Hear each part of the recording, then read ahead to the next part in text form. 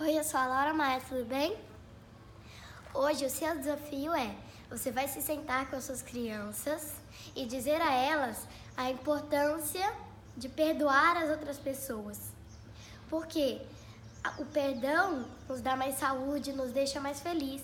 Porque às vezes, como um amigo fez alguma coisa para ela ou alguma outra pessoa, ela não pode guardar raiva porque isso não nos deixa felizes, eu sei como é. é. Por exemplo, uma vez a minha amiga ela cometeu um grande erro, ela fez uma grande mentira comigo. Eu fiquei brava com ela por um tempo, só que é óbvio que eu, que eu perdoei ela. E diga a eles que, que nós não somos perfeitos, assim como eu não sou perfeito, você não é perfeito, eles não são perfeitos, ninguém é perfeito nesse mundo. Então, desafio você fazer isso hoje. Te vejo aqui amanhã para o próximo desafio.